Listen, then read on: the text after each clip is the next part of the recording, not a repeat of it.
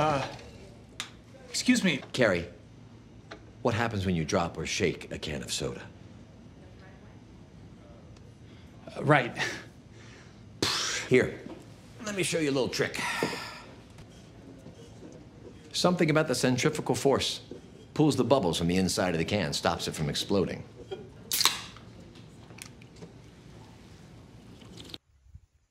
I want to try that. So I finished Better Saul some time ago and that scene in particular stayed with me for a long time and curiosity is killing me. So I'll be trying this trick to see if it really works. And to the trick I'll be using this. Bad boy isn't exactly a soda but yeah it will work the same I guess. And in case you're wondering I'm not a goth emo boy thing. I just like it tastes. So, the theory is simple. You grab this thing, you shake it a little bit, and just spin it, and it should not explode. So, we're doing that first.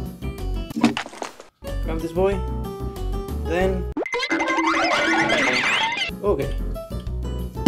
Shake. Then, just some spin. I actually don't know how long I have to keep spinning it. Okay. So it will work. So in case this trick somehow doesn't work, I'll be using this thing. This thing will avoid my entire room to be a mess. So shake, spin, now should explode.